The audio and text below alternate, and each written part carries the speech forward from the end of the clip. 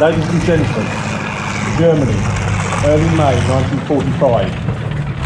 Hitler is dead and the German army is disintegrating under constant Allied attacks from both east and west.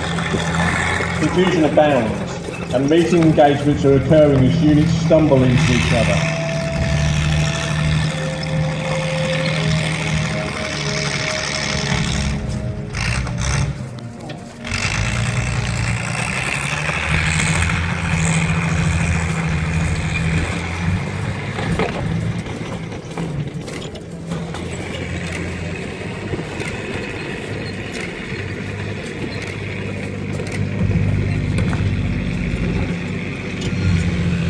Now if you look to the western side of the arena, you will see a solitary panther from a training battalion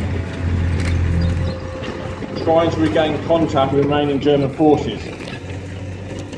This veteran commander is not interested in surrendering, surrendering and wishes to fight on.